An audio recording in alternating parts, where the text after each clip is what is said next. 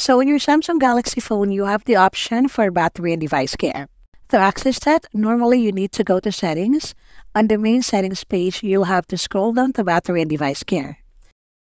And that's the usual way to access battery and device care. Now, if you want, you can have this device care menu straight on your home screen so you can only tap on the icon once and you get into battery and device care.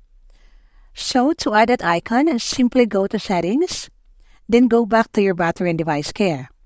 Now, when you're inside at the battery and device care, tap on the three dots in the top right corner, then click Add to App Screen. Okay, after that, when you go back to your app drawer, you should find the device care app icon. You can then now move it to your home screen for a much easy access. You can tap on it and it'll take you straight into device care. So if you frequently go to device care on your phone, then I suggest to add that to your home screen. For more how-to tutorials, please subscribe or click other videos to keep on watching.